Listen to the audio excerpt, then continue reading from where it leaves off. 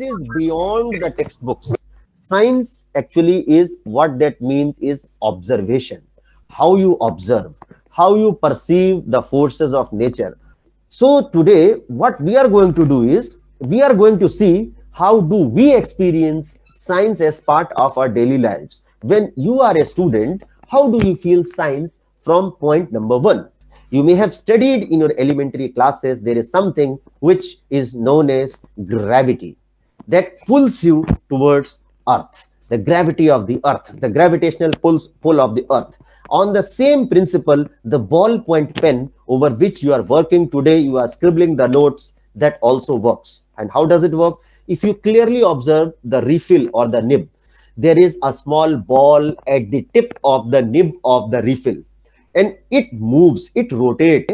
That ink really comes down by the action of gravity and that flows onto your paper. So this is how physics is helping you to write. We are going to connect everything with the life on the ISS. Similarly, or you are in a car and somehow you're the person who is driving a car applies the brake. What do you feel? Where do you move? That is a science which is inertia. Inertia means if you are in rest, you will remain in rest. If you are in, uh, you can say uniform motion, you will remain in uniform motion until something external comes into play.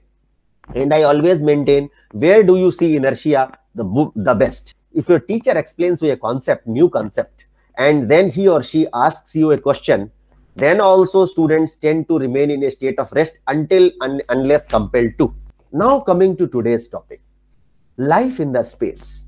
If you can see, there is a very, very complex sort of, you can say, if you have seen Star Wars movies or any, you can say, science fiction, or for that sake, if you are a fan of National Geographic uh, channel or Discovery channel, then you may have seen these sort of complex structures.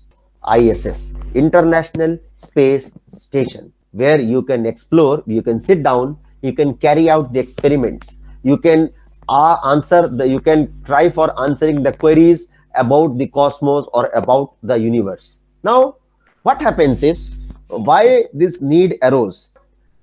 Curiosity.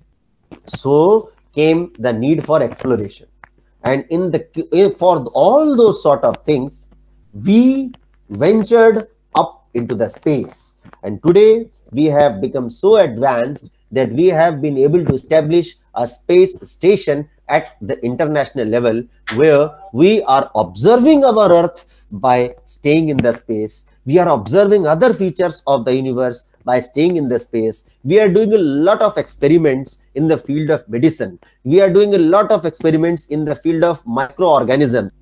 ISS revolves around the earth in 90 minutes and the speed is very very fantastic 9 kilometers per second it is traveling so just imagine how fast it is traveling to go around the earth in 90 minutes and so on an average, you know what it will do is in 24 hours, the space station makes 16 orbits of the earth. You are able to see the sunrise and sunset 16 times in a day. ISS sees 16 days in a span of 24 hours. Astronauts who are living and working in the space, they need to take care of hygiene as it is on the earth. They need to wash their hair, brush their teeth, shave, go to bathroom. And but in because of the microgravity environment astronauts take care of them in a very different manner so they wash their hair actually with a rinseless shampoo so once you become observant with nature you tend to start asking questions and once you start asking the questions that is the scientific spirit that we have to aim for